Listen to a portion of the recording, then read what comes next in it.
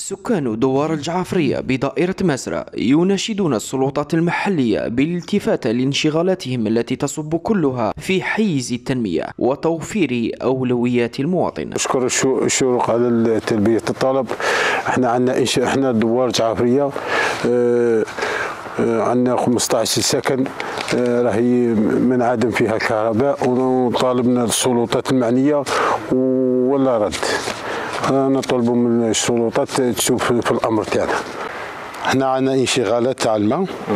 أنه 15 في كل 15 يوم يوصلنا الماء. والشبكة واصلة وكلش.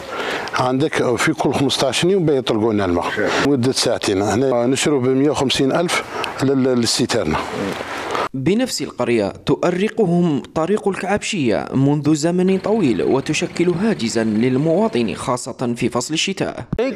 الطريق إحنا كنت الشتاء أنا حاب حاب يتحجر على 20 سنتيم ولا 30 ولا 40 ما نقولكش يجوا ثم يقولوا يبكوا. نعاود بدوهم يديهم مصرهم والوقت اللي يسترحوا فيه عاود يروح يجيبهم.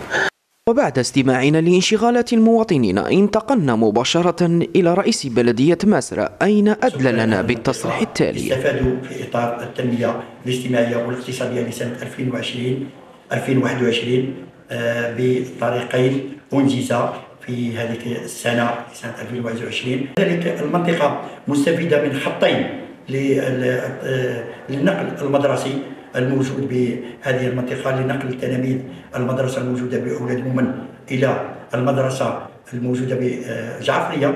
أما بالنسبة للكهرباء راه موجودة على مستوى مديرية الطاقة مشروعين مشروع بالنسبة للإنارة الريفية والإنارة العمومية. شبكه المياه موجودة في هذه المنطقة الربط الحقيقي 100% راديو هي اللي راهي متكفلة بهذه المناطق الريفية.